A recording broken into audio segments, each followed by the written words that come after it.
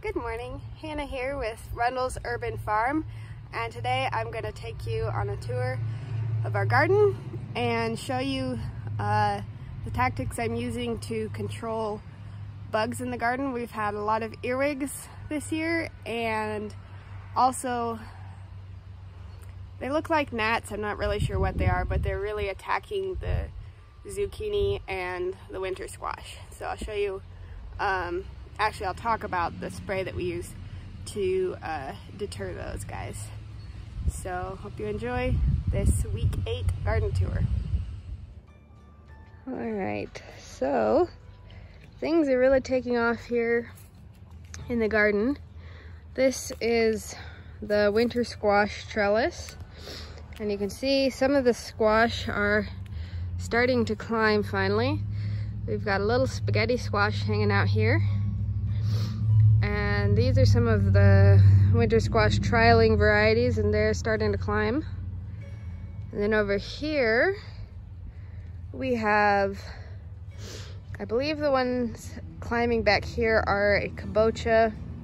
And then this one here, the smaller one is an acorn squash. And then over here, I'll show you this little Hubbard squash flower opened this morning. And I did pollinate it with a Q-tip just to be sure it got uh, fertilized. But I did see a bee moving from the male flower over here to the female flower here.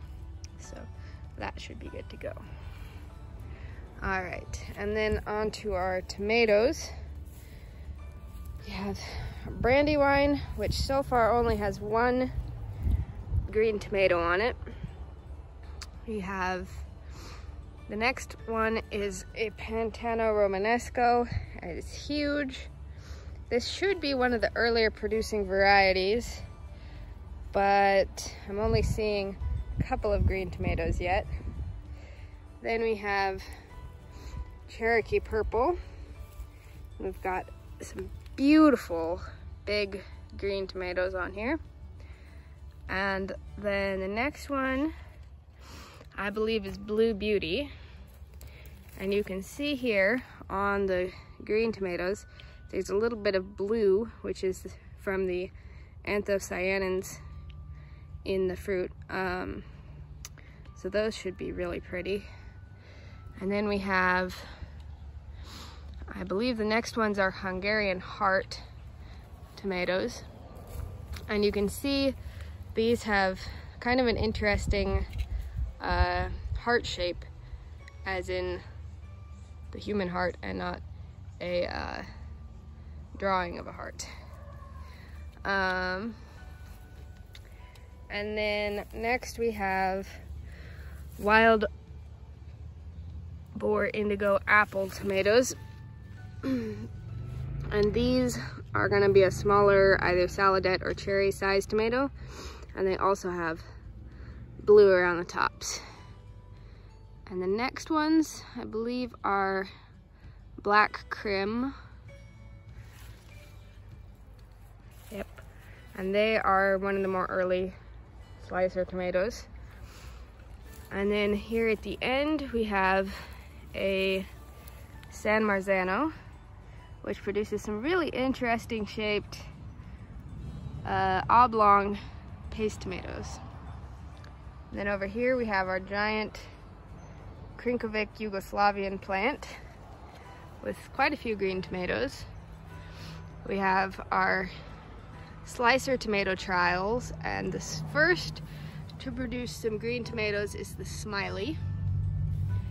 And then we have the German pink, which has not produced any green ones yet and we have the church, which hasn't either. And then we have our paste tomato trials, and you can see the airy leaf is starting to produce some little paste tomatoes. And over here, this tomato, looks like the end got eaten off there. Don't know what happened with that. Um, and then I believe the Ronaldo. Oh, there is one little guy up there. And then Salvatore Select is leading the pack of paste tomatoes with that big guy right there.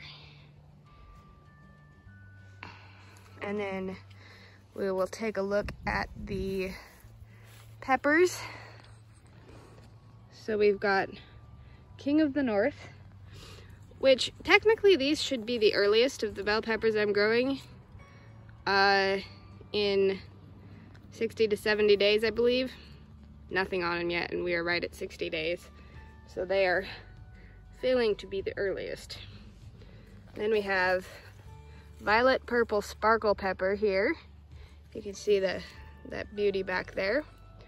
We have a large crop of basil. I believe this is either Emily or Mammolo basil from Baker Creek, and I really, really like it. Then we have our purple jalapeno.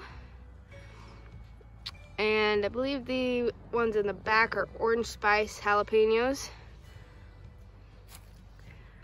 And this is how we catch the earwigs, which have been eating all our peppers. You can see a lot of them have been chewed on.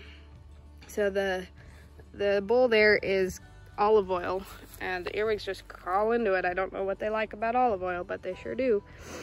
Um, and then here we have mystery peppers because I didn't label them anything but peppers. Don't know why I did that. And then we've got rosemary, a nice little crop of it here, and our zucchini. Now the zucchini you can see is also pretty bug eaten. Never had this problem with zucchini before, but yesterday I came in here and I had made a concoction of garlic, onions, hot chili peppers, cinnamon, and dish soap in water and came out here and sprayed it on these guys. And that should deter the pests. I don't like spicy or potent. Um, and then back here, we've got some cantaloupe that are doing really well. And we've got our mystery squash. Not sure what we're growing there. Then here, we have two tomato plants these were um, cuttings when I pruned a Cherokee purple tomato, I believe. And I, they were so big I couldn't bear to throw them away, so I stuck them in water. And they did end up rooting, and I stuck them in the ground. One of them is looking a little better than the other, but they're both growing. And then we have our onions which again, I've chopped the tops off of them so the tops don't fall over and cause the bulb to stop growing. We've got some watermelon here and back through there. And then we've got bush beans. And the bush beans are starting to blossom. I don't know if we can find any. Oh, see there, right in there is a little flower. So we should, oh, and here's another one. So we should be getting some green beans very soon. This low-lying squash plant is a delicata squash. It's a type of winter squash. Uh, more green beans. This is a flower patch. We've got a little bumblebee enjoying the cosmos here. And these are called Love in a Mist. They are one of my favorite flowers to grow. Marigolds are lettuce, which is finally recovered from the deer. Um, more basil in there, nasturtiums, peppers, and here, this one at the front is a banana pepper. And this one back here is also supposed to be a banana pepper, but the shape is certainly a lot more like a shishito pepper. It's got a blunt end and uh, some ribbing. And the banana peppers are pretty smooth and have a pointed end. And then we've got eggplant, and our purple basil. We've got a decent patch of carrots here and more peppers. And these guys have some big, if I can get to them, big peppers on them. More peppers. Cilantro, which has gone to seed. And these are our leading bell peppers back here. I believe these are Ruia bell peppers. And then we've got our best looking carrots right here. And the rest of the winter squash. And this is our compost pile wonder squash. I'm not exactly sure how many plants we've got in here. Probably at least three. But you can see here we've got a nice little winter squash. I believe this is a hybrid of something we grew, some of the varieties we grew last year. Um, it looks a lot like a buttercup squash, but the coloring is a little odd. So I think it crossed with uh, maybe a pumpkin or something that was lighter in color.